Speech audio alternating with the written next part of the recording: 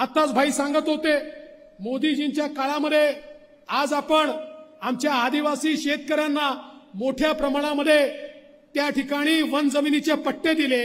ते पट्टे मिळाल्यानंतर आम्ही मोदीजींना सांगितलं तुमचे बारा हजार रुपये यांना मिळाले पाहिजे तेही त्यांना आपण मिळवून दिले. आणि आपण काळजी करू नका भाई जे पाच हजार पट्टे बाकी आहेत तेही येत्या काळामध्ये आपण निश्चितपणे देऊ. कोणालाही वंचित ठेवणार नाही.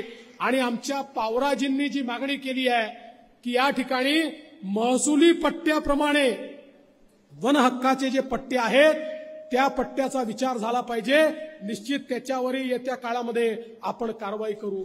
आणि एवढंच नाही तर आमचे जे बिगर आदिवासी आहेत त्यांनाही त्यांच्या जमिनीचे पट्टे देण्याचा निर्णय आपण घेतला आणि त्यांनाही त्या ठिकाणी जर घर नसेल तर मोदी आवास योजनेच्या माध्यमातून त्यांनाही घर देण्याचा निर्णय हा आपल्या सरकारने या ठिकाणी घेतला.